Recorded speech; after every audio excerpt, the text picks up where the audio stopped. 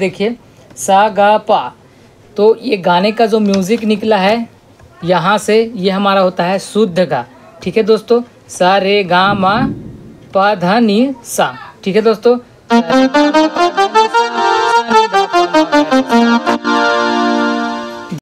सो hi everyone आप लोग कैसे हो? आई होप कि आप लोग सब बढ़िया होंगे। स्वागत है हमारे YouTube channel S M P piano lover में सो so, दोस्तों आज हम बात करने वाले हैं एक टॉपिक पे, ठीक है? वो आपको यहाँ पे स्पष्ट हम पहले दिखा देते हैं। ये टॉपिक हमारा आज का मेन होगा।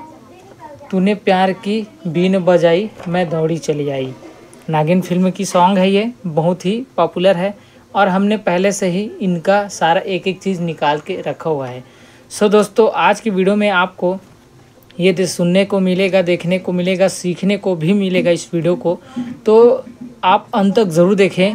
और इस पंद्रह मिनट की वीडियो अगर आप वॉच कर लेते हो फुल वॉच तो आप कोई भी गाना आसानी से आप अपने पियानो पे बजा सकते हो हारमोनियम हो या बेंजो या आर्गन हो, ठीक है मित्रों? तो आज मैं इस गाने का इतना सारा निकाल चुका हूँ। तो ये गाना कैसे निकला है और मैं कैसे निकाला हूँ, ये सारा मेथड इस वीडियो में बताने वाला हूँ। तो वीडियो को लास्ट तक ज़रूर देखें और आइए बिना देरी किए वीडियो स्टार्ट करते हैं। सो दोस्तों, आप लोगों की डिमांड रहती है कि भाई आप कई जने मुझे कमेंट किए कि वाइट वाला जो है उसको याद करना है, कि इसको भी गुनगुनाना है करके। तो भाई आपको शुद्ध स्वर ज़्यादातर ब्लैक होता है और कोमल स्वर ज़्यादातर वाइट होता है। तो आपको दोनों लेके चलना है, तभी आपको स्वर ज्ञान हो पाएगा। ठीक है भाई? और जो कमेंट किए थे, उनका आंसर ये है, आप दोनों भाई, आप दोनों ब्लैक वाला और वाइट वाला, कोमल स्वर, शुद्ध स्वर, दोनों स्वर को आपको याद करके लेके जाना। सो so, दोस्तों मैं आप लोगों को काली तीन से बताने वाला हूँ। ये हमारा फेवरेट बटन है। ये है मेरा सी शार्प यानी कि तीसरी काली। ठीक है दोस्तों तो मैं यहाँ से आइए पहले आपको सरगम बजा के दिखा देता हूँ। फिर वीडियो स्टार्ट करेंगे। ठीक है दोस्तों? तो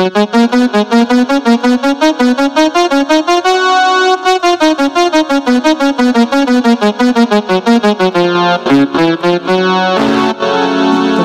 मेरी पसंदीदा बटन काली तीन, जिससे मेरा आवाज़ मैच करता है। मैच कैसे करता है? ये देखिए।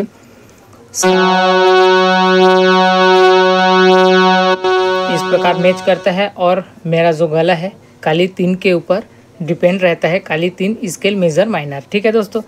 तो ये जो गाना है बॉलीवुड की फ़िल्म की सॉन्ग है तो ये अपनी पांचवी काली ए शार्प में गाई हुई है ये वाला गाना। तूने प्यार की बीने बजाई मैं दौड़ी चली आई। ठीक है दोस्तों? तो मैं काली पाँच में जो मेन इसका स्केल है ओरिजिनल स्केल उसी में आपको बताने वाला हूँ। ठीक है दोस्तों? मैंने आप आप लोग मेरे वीडियो काफ़ी सारे देखे होंगे। मैं ज़्यादातर काली तीन से ही ब, अ, बताता हूँ आप लोगों को। क्योंकि काली तीन मेरा पसंदीदा है और मेरा जो स्वर है मेरे गले का मेरा आवाज़ है वो काली तीन पे मैच करता है। तो आज थोड़ा सा उल्टा होगा। जो गाना है, वो काली पाँच में गाई हुई है और इसे बोलते हैं ए शार्प तो इसी स्केल में ही बताने वाला हूँ आज आप लोगों को ओरिजिनल स्केल में। ठीक है दोस्तों? आप वीडियो बारीकी से समझे, बारीकी से देखें, तभी आपको समझ आएगा। आइए वीडियो स्टार्ट करते हैं। तो दोस्तों, पहले इसका म्यूज़िक पार्ट आता है। तो म्यूज़िक पार्ट हर लोगों को पता होता है। जिन लोग अगर गाने को दो से चार बार सुने रहे होते हैं तो उनको म्यूज़िक पार्ट आसानी से उनको याद रहता है। ठीक है दोस्तों तो आइए म्यूज़िक पार्ट से स्टार्ट करते हैं। तो इसमें हमने लिख दिया है, देखिए। सा गा पा एक कार्ड के हिसाब से है ना? तो ये भी इसका मेज़र होगा एक पाँच आठ। ठीक है दोस्तों, ये हमारे पाँचवीं काली है, यानी कि ए शार्प और ये हो गया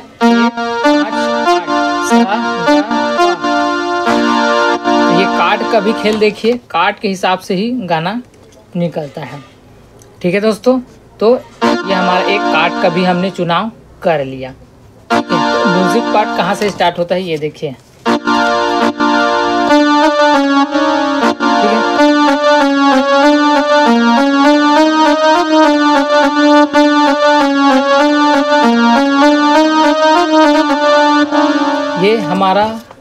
गाने का पहला म्यूज़िक पार्ट है।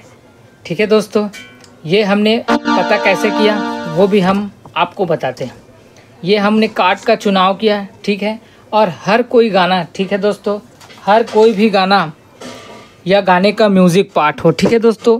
तो वो निकलेगा, या तो सा से शुद्ध सा हो गया, या तो शुद्ध गा हो गया, या तो कोमल गा हो गया, या तो हमारा पा हो गया। इन तीन चीज़ से ही, ठीक है? हमने यहाँ पे लिख रखा है, देखिए। सा गा पा तो ये गाने का जो म्यूज़िक निकला है, यहाँ से ये हमारा होता है शुद्ध गा। ठीक है दोस्तों? सा, रे, गा, मा, पा, धा, नी, सा। ठीक है दोस्तों?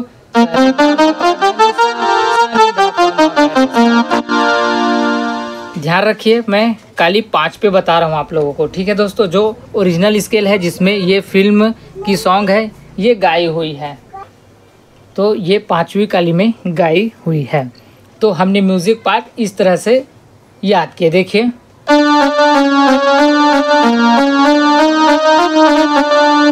तो इसमें देखिए कौन कौन से यूज़ हुए हैं, वो भी हम पहले से ही लिख चुके हैं। ठीक है दोस्तों? तो इसमें लगने वाले सुर थे पहले।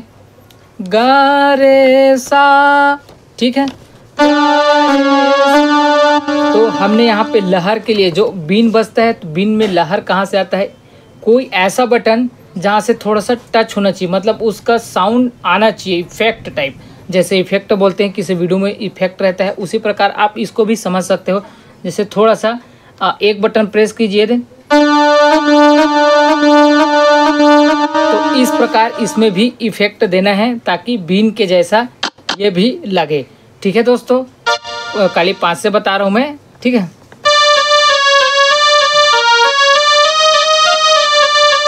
देखिए, इसमें यूज़ होने वाले बटन कौन कौन से थे?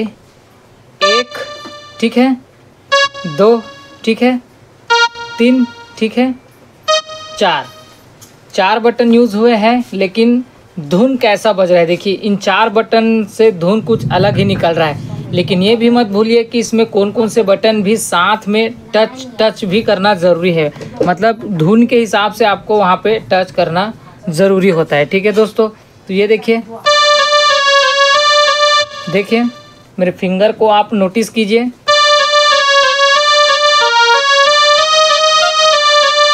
देखिए, इसमें टच ये भी टच होता है, ये वाला।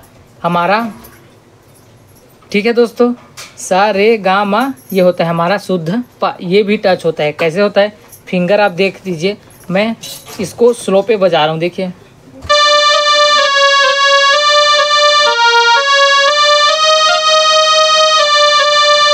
ये देखिए।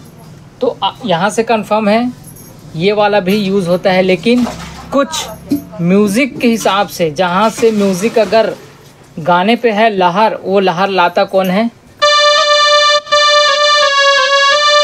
ये देखिए। बच का कौन सा रहा है देखिए, इन दोनों बटनों पे ही ये धुन निकल रहा है, लेकिन ये क्यों यूज़ हो रहा है? ये उनको पूरा भरने का काम कर रहा है, भराव का काम कर रहा है मतलब पूरा म्यूज़िक को पूरा करने का काम कर रहा है। अगर हम इसको नहीं लेंगे तो कैसे लगेगा देखना?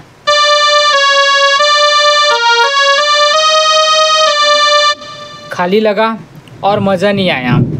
ठीक है दोस्तों तो इसको पूरा करने के लिए ये चीज़ ज़रूरी है। देखिए फिंगर को आप नोटिस कीजिए।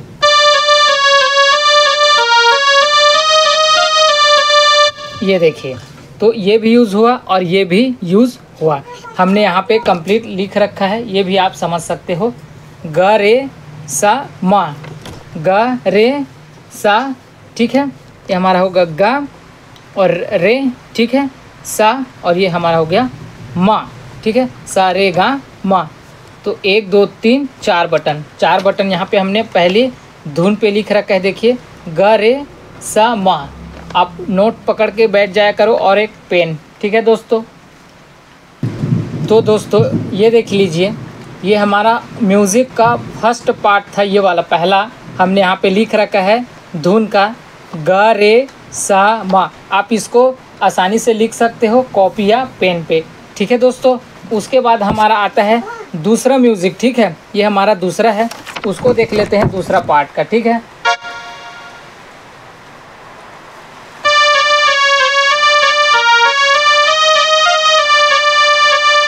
ठीक है दोस्तों, ये हमारा फ़र्स्ट हो गया, उसके बाद सेकेंड क्या होता है? पहले एक साथ देखेंगे दोनों, ठीक है?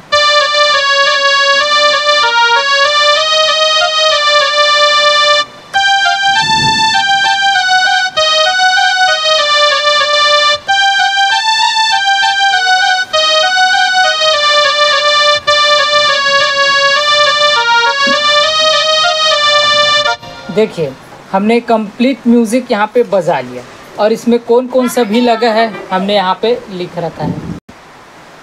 तो दोस्तों, हमने दूसरी पार्ट का जो म्यूज़िक है, कुछ इस प्रकार से है, वो आप लोग देख लीजिए। ये वाला जो हमारा धा, नी, ठीक है? शुद्ध धा, शुद्ध नी, कोमल धा और मा और गा। दूसरा पार्ट का जो म्यूज़िक है, वो एक, दो, तीन, चार, पाँच स्वर ही लगे हैं इसमें, ठीक है? और म्यूज़िक के भराव के लिए और कुछ यूज़ हुए वो इस प्रकार थे।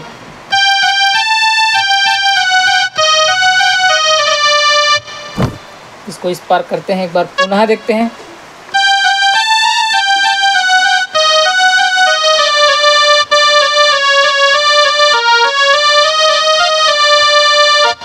ठीक है दोस्तों कंप्लीट यहाँ पे हमने दो म्यूज़िक अभी निकाल लिए, जो कंप्लीट है गाने का स्टार्टिंग बोल होता है। ठीक है साथियों तो ये हमारा हो गया पहले का, सा, रे सॉरी ग, रे, सा, मा। आप पहले पार्ट का ये, आप ये वाला सूत्र लिख लीजिए, आप यहाँ पे अप्लाई कीजिए और मेरा फिंगर आप यहाँ पे अप्लाई कर सकते हैं। आप आसानी से ये वाला धुन आहिस्ते से बजा पाओगे। ठीक है दोस्तों?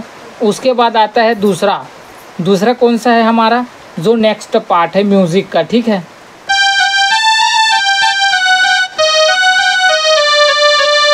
ठीक है? तो आप एकदम से अलग बजाने की प्रयास मत करना, क्योंकि जो इनमें लिया है, भराव के लिए वो चीज़ भी यहाँ पे फिंगरों पे आप प्रेस कीजिए, तभी आपको अच्छा लगेगा। ठीक है दोस्तों? तो ये हमारा हो गया दूसरा पार्ट। ठीक है? अब हमारा आता है गाने का बोल। ये कंप्लीट हो जाएगा, उसके बाद हमारा आता है गाने का बोल। तो पहले म्यूज़िक का कंप्लीट एक बार और देख लेते हैं। काली पाँच से बता रहा हूँ इस चीज़ को। आप ध्यान दीजिए, मैं इसको बार बार बोल रहा हूँ। ठीक है दोस्तों? तो आइए पुनः देखते हैं।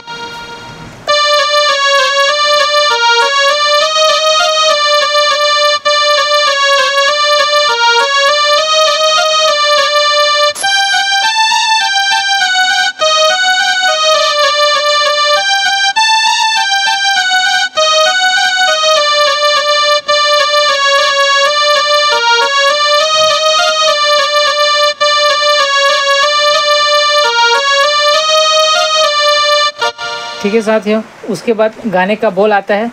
तो गाने का बोल यहाँ पे देख लीजिए। प, ध, सा। प, ध, सा, रे रे, ग, रे। कोमर रे का भी यहाँ पे यूज़ हुआ है। तो गाना कुछ इस प्रकार से है। वो भी आप देख लीजिए, ठीक है?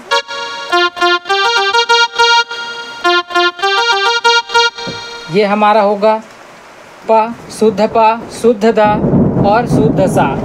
ठीक है दोस्तों, ये हमारा शुद्ध पा, शुद्ध दा और शुद्ध सा, ठीक है? हमने यहाँ पे लिख रखा है, आप इसको भी स्क्रीनशॉट लेकर समझ सकते हैं या अपने कॉपी में नोट कर लीजिए। शुद्ध पा, शुद्ध धा, शुद्ध सा। रे, कोमल रे, शुद्ध गा, शुद्ध रे। ठीक है दोस्तों, इसको स्क्रीनशॉट ले सकते हो या अपने कॉपी पे नोट कर सकते हो। तो आइए गाने को, बोल को यहाँ पे दर्शाते हैं।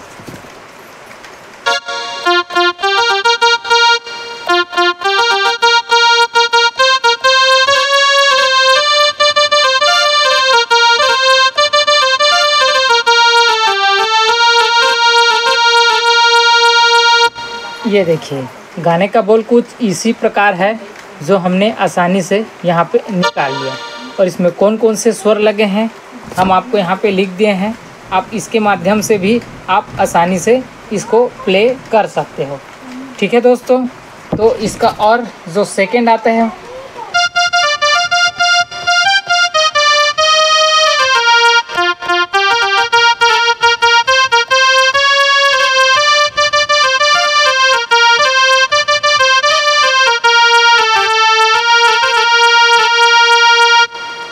ठीक है दोस्तों? तो ये हो गया हमारा एक गाने का कंप्लीट ठीक है? इस गाने में जो लगने वाले जो मुख्य स्वर हैं, यहाँ पे देख लीजिए। सा, रे, शुद्ध रे, शुद्ध गा। शुद्ध रे, शुद्ध गा। ये है हमारा कोमर रे और ये हमारा शुद्ध रे। ठीक है? तो सा, रे और गा भी लगा हुआ है तो इसमें कोमल गा नहीं लगे हैं। साथियों, ठीक है? इतने में देख सकते हो। धा आ गया तो धा में कोमल धा भी लगा है। शुद्ध धा भी यहाँ पे लगा है, कोमल धा भी लगा है। मेरी बात आप जानते सुनिए। शुद्ध धा और कोमल धा। दूसरी बात है, नी। जो नी है हमारा, ये हमारा शुद्ध नी, इसमें कोमल नी यूज़ नहीं हुआ है। नी और लास्ट होता है हमारा सा। तो आप आसानी से इनका एक कार्ड निकाल सकते हो। वो कुछ इस प्रकार है। आइए मैं आपको यहाँ पे नीचे में लिख के दर्शा देता हूँ। सो दोस्तों, आप यहाँ पे स्पष्ट देख सकते हैं। मैंने चिन्हांकित कर दिया है। इसमें लगने वाले जो मुख्य स्वर थे, वो है यहाँ पे, शुद्ध सा, शुद्ध रे, शुद्ध गा, शुद्ध माँ, शुद्ध पा, शुद्ध धा और शुद्ध नी। और इसमें कोमल स्वरों की संख्या है, वो सिर्फ़ दो ही लगा है, कोमल रे, कोमल धा। अब आप यहाँ से आसानी से, आप इस नोट से, ये पूरा गाना आप आसानी से बैठ के आहिस्ते बजा सकते हो। बस सरते आपको गाना याद आना याद आना चाहिए। आप आपके माइंड में गाना आपके माइंड में बैठ बैठ बैठे रहना चाहिए तभी आप इस सॉन्ग को बजा पाओगे आसानी से इस मेथड के माध्यम से। सो so, दोस्तों आज का वीडियो आप लोगों को कैसा लगा? अगर पसंद आए तो लाइक सब्सक्राइब शेयर करें। तब तक के लिए जय हिंद वंदे मातरम।